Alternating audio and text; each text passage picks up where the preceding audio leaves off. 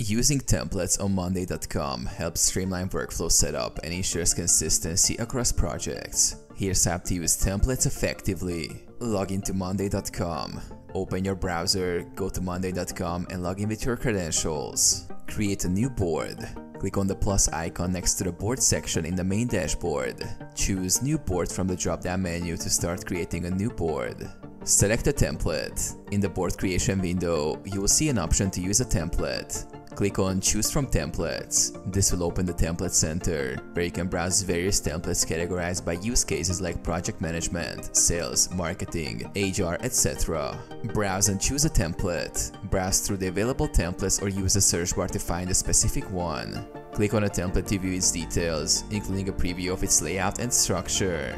Use the template. Once you find a suitable template, click on Use Template. This section will create a new board using the selected template, pre-filled with relevant columns, statuses, and structure.